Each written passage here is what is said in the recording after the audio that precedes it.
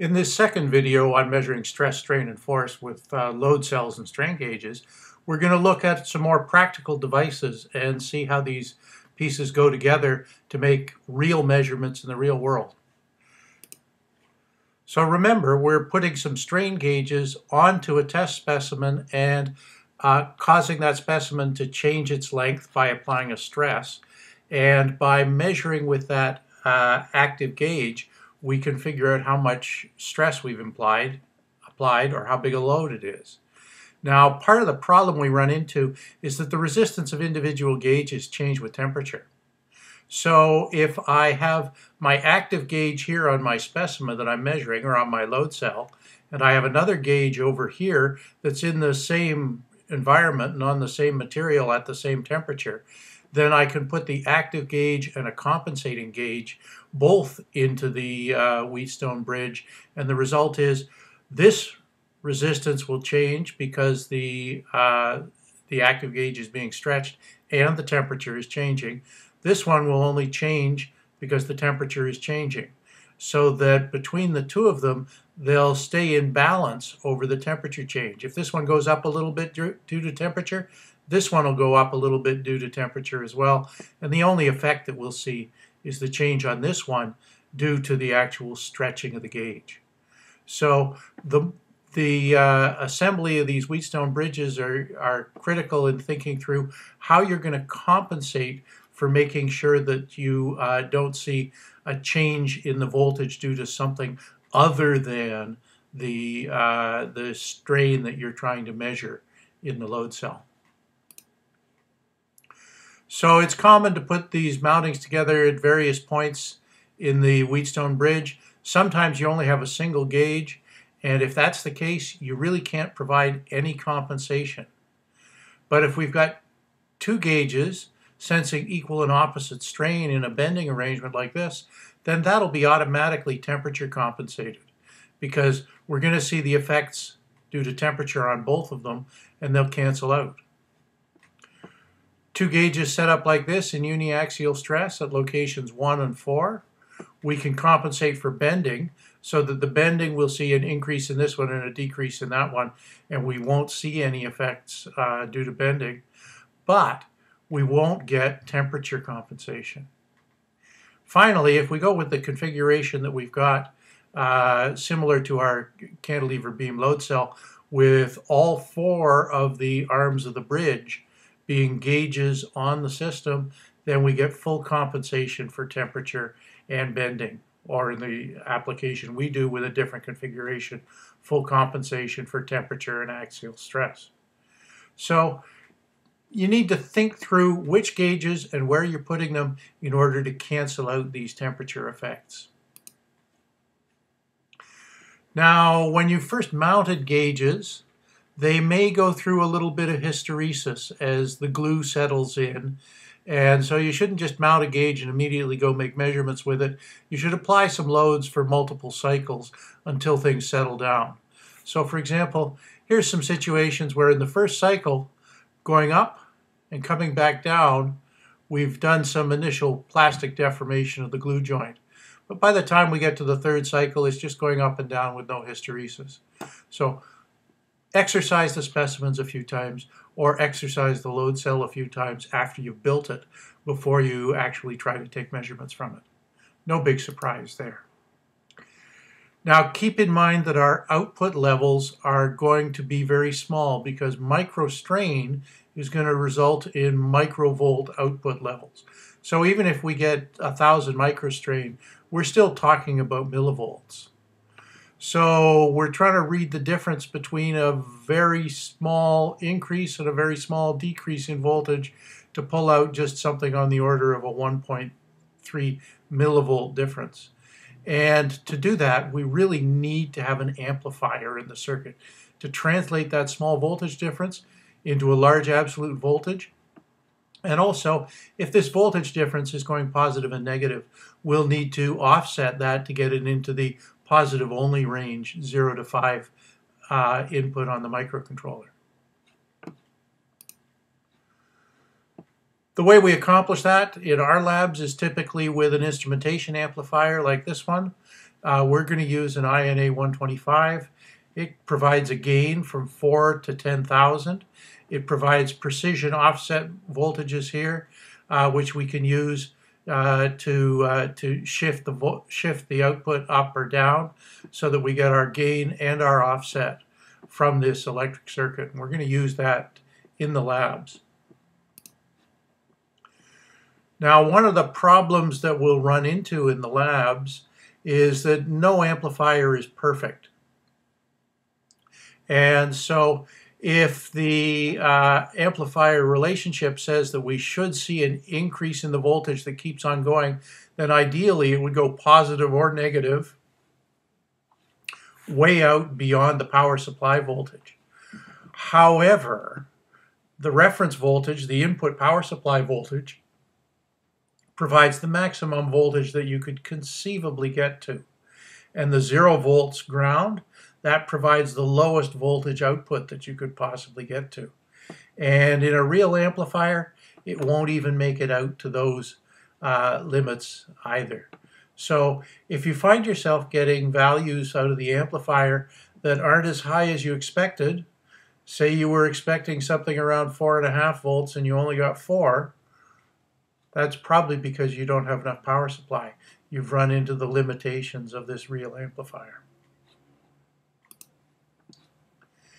And real amplifiers also have time response characteristics. Generally, the higher the gain, the slower the amplifier. So our strain gauge response is almost instantaneous. Uh, it's a zero order response and it provides you feedback almost instantaneously. However, the amplifier has reduced gains at higher frequencies. It doesn't fail to follow those higher frequencies, it just doesn't follow them as well. So if we had a gain of 500, then if things were happening faster than about 200 times a second, we might not catch all the details. So we need to keep that in mind when we're when we're choosing our amplifiers. And if we need higher frequencies, then we'll just have to put two amplifiers one after another in stages. So we can amplify 100 times and then amplify 100 times again.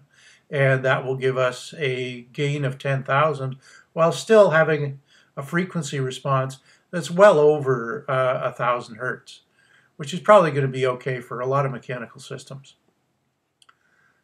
So the other thing to keep in mind is that the measured system also has its own dynamics, which are probably second order since we're measuring masses moving around subject to forces. So let's look now at some practical applications. This is a, a weigh scale that you can get from Lee Valley.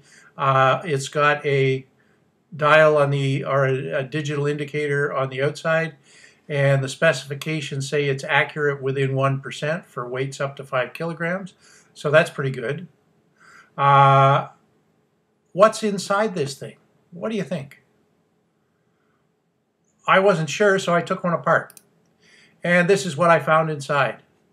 This is a load cell. This is a shear beam load cell, which is similar to our cantilever beam load cell.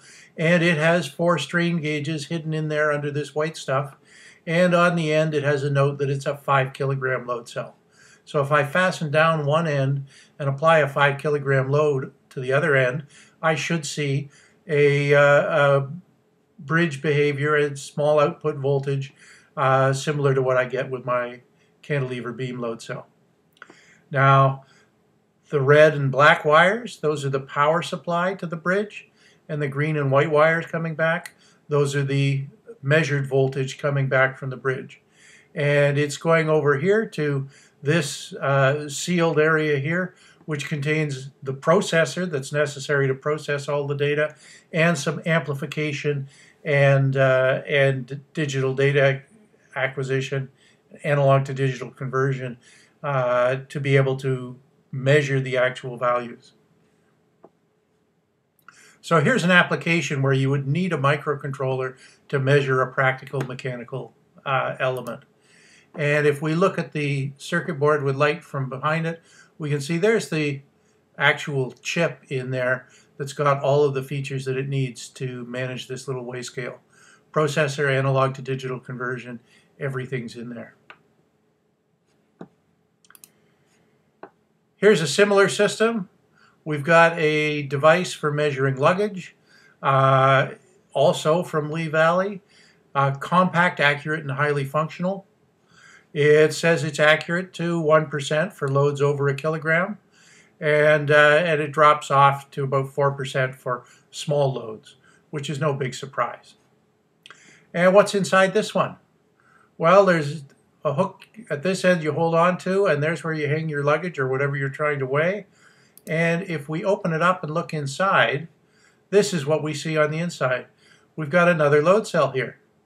In this case, this is a cantilever beam load cell in the same sort of configuration that we uh, we would have in uh, in our measurements in the lab. We've got this force geometry here, and we can see it better over here. If I pull there and I pull there, I wind up uh, exerting a, uh, a, a, bending moment on this uh, on this element in here, uh, to, to bend it out of shape, and I can measure that with these load cell components. Again, we've got a bridge with a positive and ground for our power supply, and green and white for the differential voltage outputs from our strain gauge bridge. And I did some measurements to try to figure out what these wires were. I measured the resistances in order to figure out that the red and black were actually opposite corners of the bridge and the green and white were the other corners of the bridge. And if you put the power on the red and black, you'll see the differential on the green and white. And it matches up to my tabulated resistances, uh, and I wind up with a resistance for a, an individual gauge of uh, an average of almost 900 ohms. So if I connect these up, I wind up with a sensitivity of about 1 millivolt per 10 kilograms with a 3 volt power supply on it.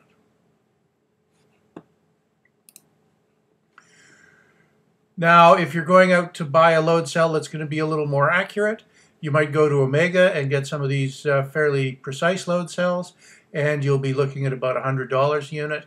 If you're looking for something you can build into a scale, you can go to eBay and for less than $2 a unit, get a shear beam load cell that gives you pretty good performance here.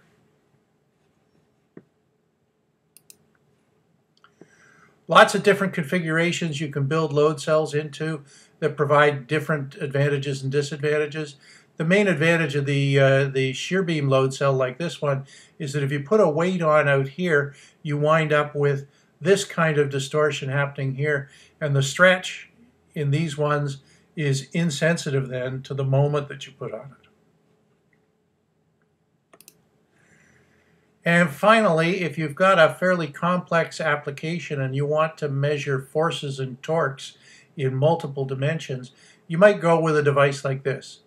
Inside here are a whole lot of strain gauges hooked up in a geometric configuration that allows you to get, they call it six-axis force torque sensor. What that means is six degrees of freedom. So we have tension this way, we have stress back and forth in that direction, we have stress back and forth into the page, and in addition we have moments about each of the axes. So we've got six degrees of freedom. We've got three forces and three moments, and we can measure all of them at the same time with this sensor to know how our robot or, or other device is loading up. It's got an onboard microcontroller to keep the analog signals shielded for noise protection, to do some validation and self-testing, and it provides all of the output digitally so that you can hook it directly to a microcontroller or to a computer. And you can find out more about this, uh, this system over here. So in the lab, we're going to go with a much simpler system, something more along this line, and we're going to figure out how these bridge circuits work and how we can use that to make an estimate of a single force. But keep in mind, it all leads up to sensors like this that are much more complex and that you would normally buy as packaged units rather than trying to build your own.